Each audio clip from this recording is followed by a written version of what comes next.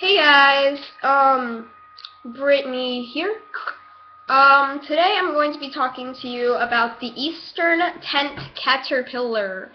Now these are native to um, North America, um, the east coast of course, um, and they are mainly found in Virginia or at least Virginia, or at least that's where I found mine. There's one. I raised a few of them. I have three at the moment. I'm planning on finding more. Sorry, my eyeliner is not very good today. Um, I'm planning on finding more. Here's what they look like in the caterpillar form after the sixth instar, which they have six of them, of course. And it's before they come out of their tree. This is what he looks like after the sixth instar, after coming out of the tree, and he's looking for a place to pupate or cocoon. That's what that means. Um, once he found, finds a place to pupate, which would be in my container where I already have a pu uh, um, a cocoon right now in there, um, he will spin a web around him, which I will show you in a minute of the cocoon I have right now. He will spin a, um, spin webbing or um, a webbed cocoon, and he will be there for about two weeks, and then out comes the tent moth the eastern tent moth. Um, they're very cool moths. I haven't seen them in person, but I looked them up. And let me just tell you a few facts on these, and then I'll show you how to set up your home for them if you're planning on raising them. Um, eastern tent caterpillars are pretty small. Here, I'll give you a scale. Oops. Here's a, the average pencil. So they're pretty small. Um, they have pretty short lives, especially if they're female, because after, um, if they're female, after laying their eggs, they will die. Um, after they die, they will, um, after they lay, I mean, after they lay their eggs, um, the eggs will obviously hatch and the cycle will happen once again, except these little guys like to, or moths like to lay their eggs in trees preferably rose tree, rose cherry blossom trees, cherry trees, apple trees, rose bushes. Uh, I found mine in an apple tree in my backyard. Actually, I found a few of them. Not in the tree, but like around the tree. Um, and I'm going to show you the cocoon.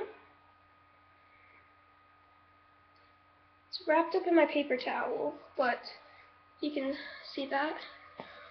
He's right right right there and underneath there.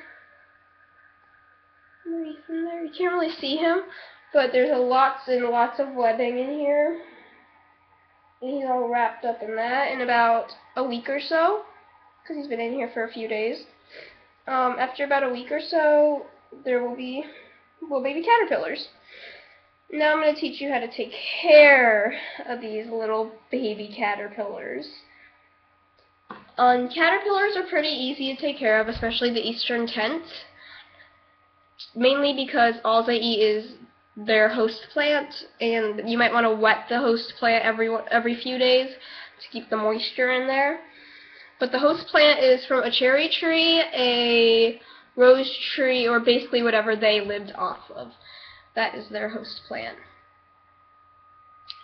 Um, now how you're going to create their house perfect um, for cocooning isn't very complicated because it's not like they're monarch caterpillars, they're just regular caterpillars.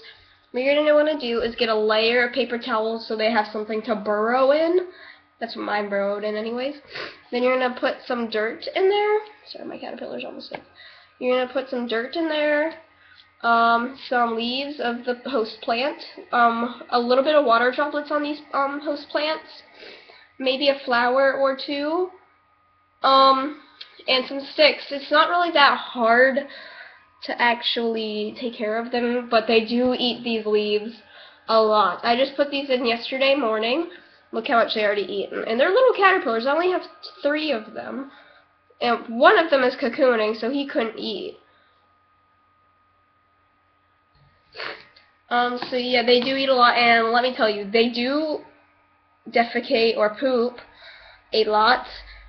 Um, so you may want to clean their their little house every few days. But other than that, they're pretty cool and they're just nice. And some people might be sensitive that, to their hairs and they might break out in hives. So if you think you're, if you touch these and you start getting a little bit itchy around where they've walked, oh, sorry, about where they, um, where they've walked, um, then you may not want to raise these types, mainly because of the hair, because they're very fluffy.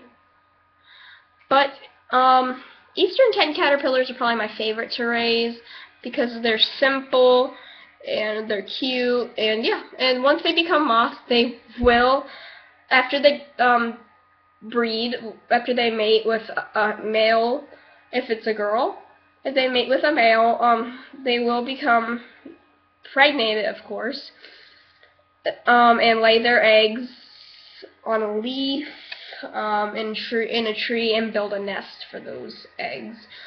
So once, if you have a male and a female in one place together for a long period of time, and they do mate, you may want to release the moth into the wild because after the, they become moths, they mate and make eggs, and then you might want to release the moth into the wild. But other than that, they're pretty easy to care for, and the reason why I say you should release them into the wild is one, because they create the nest, and two, because they can lay up to 150 to 300 eggs. And unless you want 300 caterpillars running around your house, I suggest you free it after it breeds. Um, and you're going to want to handle these with care, as you can see. Um, because you don't want to squish them or harm them in any way. You're going to want to have your hands flat. I like this one, handling them, and maybe put a finger so they can climb over onto a different hand. They're pretty easy to take care of overall. And the reason why I make this video, I'm going to put him back. The reason why I make this video is because I have searched a countless amount of times on YouTube for guides on how to take care of these of these caterpillars, and I have found a very minimum amount. So I'm kind of blindsided about the whole thing, and I had to figure out on my own, or even read long articles. And I know you guys don't want to read articles this big with a bunch of pages ahead. So you just want to watch a quick video about how to raise them, how do you want the house to be, and what's coming your way, and how to take care of them when they pupate and make their cocoon, so you don't harm the cocoon. Um, yeah. Um, what the cocoon looks like, since you couldn't really see it, was it was very webbed, very, very webbed, um, in my in a napkin. And on the inside, you'll kind of see him a little bit, but not too much. Um, he'll be in there, um, very small. He shri they shrivel up to about this big. They go from this big and shrivel up like that in a little ball and then a web grows, and then they spin a web around them, and then they release this um, yellow powder to actually help them become a, moth, the tent moth.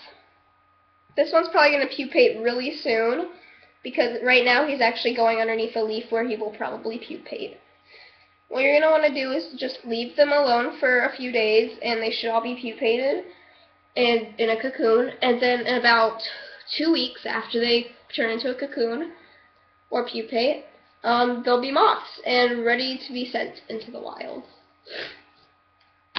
Um, if that was enough help, let me know. If not, just ask questions below, and I'll make a video response to those vid to that question, so you're not confused and have to read a long paragraph like I did.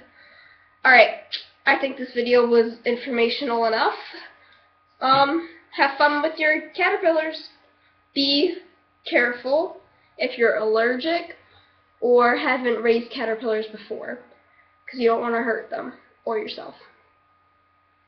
Have fun!